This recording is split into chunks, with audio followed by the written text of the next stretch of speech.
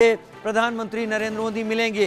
भारत और रूस के शिखर सम्मेलन में शामिल होंगे। 9 जुलाई को भारतीय समुदाय से भी मुलाकात करेंगे प्रधानमंत्री नरेंद्र मोदी। रूस के बाद ऑस्ट्रिया के दौरे पर जाएँगे प्रधानमंत्री मोदी। 40 साल बाद भारत का कोई प्रधानमंत्री ऑस्ट्रिया के दौरे पर जा रहा है और 40 साल के बाद इस दौरे में ऑस्ट्रिया में भारत क्या हासिल करेगा, इस यात्रा के बाद पता चलेगा, लेकिन रूस इसलिए अहम है क्योंकि रूस यूक्रेन युद्ध को देखते हुए जो पश्चिमी देश हैं, उनका दबाव बहुत ज़्यादा भारत पर रहा था, लेकिन क्योंकि एक रणनीतिक साझीदार रहा है रूस भारत के प्रधानमंत्री ने रूस की इस यात्रा को चुना और इसमें यह भी जानना दिलचस्प है कि पाँच साल बाद भारत के प्रधानमंत्री रूस की यात्रा पर जा रहे हैं। एक लंबा समय हो गया है और इस बीच में हालात बहुत बदले हैं। रूस और यूक्रेन के युद्ध को लेकर नाटो ने अपनी स्ट्रेटेजीज बनाई हैं। उसमें भारत को भी शामिल करने की कोशिश की गई है। लेकिन भारत की विदेश नीति क्योंकि स्वतंत्र रही है,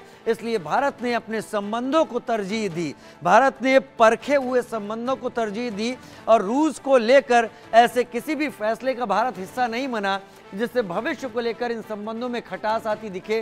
तो प्रधानमंत्री का यह दौरा काफ़ी अहम कहा जा रहा है। रूस के लिए रवाना हो चुके हैं प्रधानमंत्री। शाम पाँच बज के बीस मिनट का समय है, जब प्रधानमंत्री नरेंद्र मोदी मॉस्को पहुँच जाएँगे और मॉस्को पहुँचने के बाद रात में साढ़े नौ से ग्यारह बजे के बीच भारतीय समय अनुसार प्रधानमंत्री मोदी डिनर पर रूस के राष्ट्रपति व्लादिमीर पुतिन से मुलाकात करेंगे। और चर्चा होगी, लेकिन इसके साथ अहम बात रहेगी उस शिखर सम्मेलन की, जिस पर नज़र रूस की होगी, जिस पर नज़र भारत की होगी, और जिस पर नज़र अमेरिका की भी होगी, साथ ही साथ नेटो की भी इस पर नज़र होगी। क्योंकि रूस कई आर्थिक प्रतिबंधों को झेल रहा है। ब्रिटेन, फ्रांस, नीदरलैंड्स, ये सब रूस के खिलाफ अपने कदम उठा चुके हैं। अमेरिका के भी प्रतिबंध हैं, और इसको देखते हुए प्रधानमंत्री की इस यात्रा को बहुत अहमियत दी जा रही है। क्रेमलिन के प्रवक्ता दमित्री पेस्को ने इस बात साफ़ की है कि प्रधानमंत्री नरेंद्र मोदी के इस दौरे को लेकर पश्चिम के देश काफ़ी ईर्ष्या से भरे हुए हैं।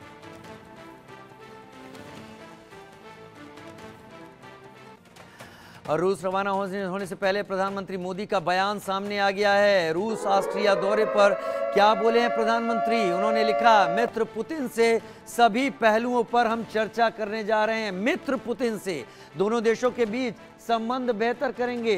प्रधानमंत्री मोदी का ये बयान और ये प्रधानमंत्री का एक्स पर पोस्ट भी देख लीजिए।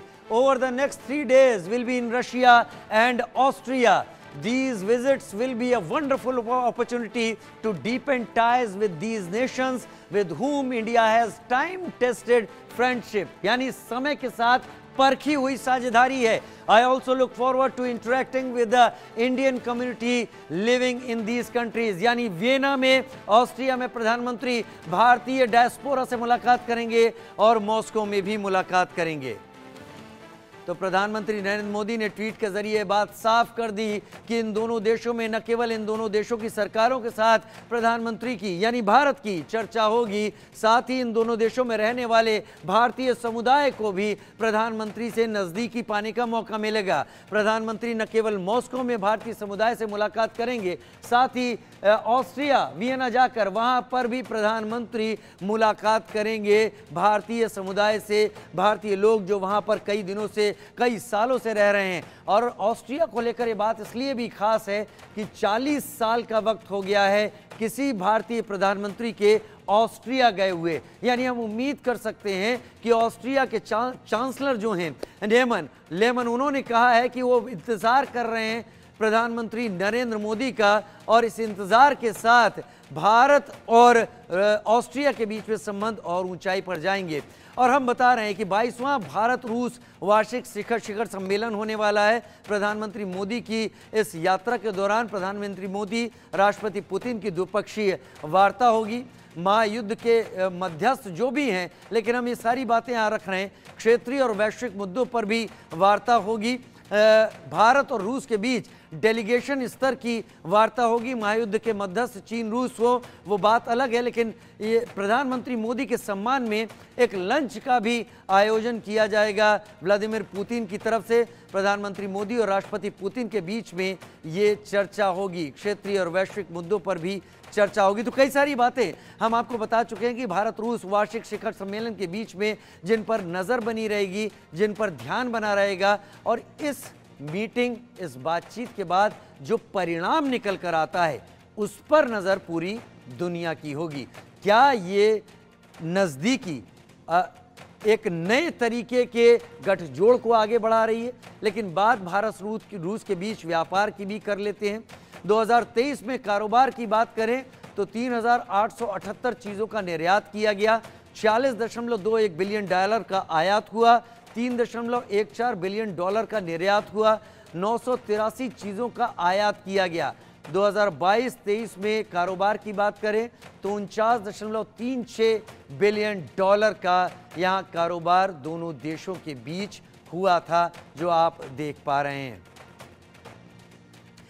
तो प्रधानमंत्री नरेंद्र मोदी और रूस के राष्ट्रपति व्लादिमीर पुतिन, हम जितना बताएँगे इस मीटिंग के बारे में वो उतना ही कम पड़ेगा क्योंकि लगातार बताते रहने से इस मीटिंग की अहमियत बढ़ती नहीं, वो बहुत कम भी नहीं होती। उसकी एक ऐसी जगह है जो नाटो देशों की आँखों में शायद चुभ रही होगी।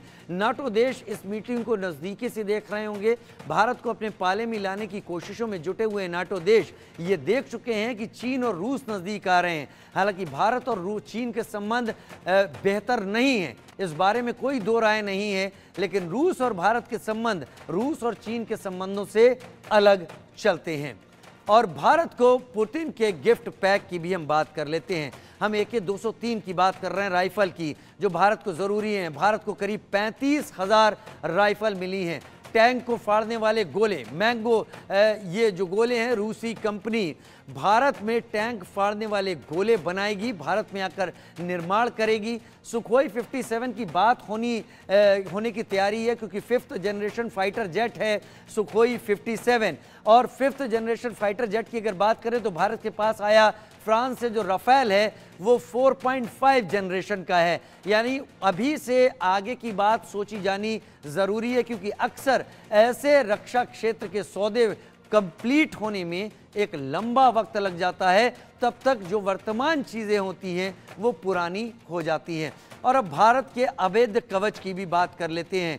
एस फोर हंड्रेड, जो कि रूस से भारत को मिला है साल 2018 में रूस से पाँच एस फोर हंड्रेड खरीदने का सौदा हुआ। हालाँकि विरोध अमेरिका की तरफ़ से बहुत किया गया। ये चालीस हज़ार करोड़ रुपए की डील थी। एस फोर हंड्रेड की तीन रेजिमेंट वायुसेना को मिल चुकी हैं।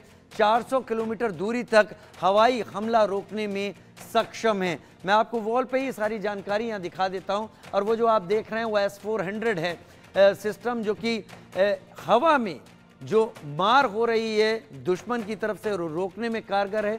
400 किलोमीटर की दूरी तक रोकने में कारगर है। चीन, पाकिस्तान के हवाई हमले से सुरक्षा मिलेगी। हालाँकि चीन के पास भी एस फोर है और भारत के पास इसकी पाँच बैटरी की बात हुई है, तीन बैटरीज इसकी आ चुकी हैं, जो प्लेस कर दी गई हैं। साल 2018 में रूस से समझौता हुआ था और रूस के साथ ये जो डील हुई थी, ये बहुत ख़ास है। अपने में बहुत अहम ये डील है, जो हम आपको इस वक्त दिखा रहे हैं।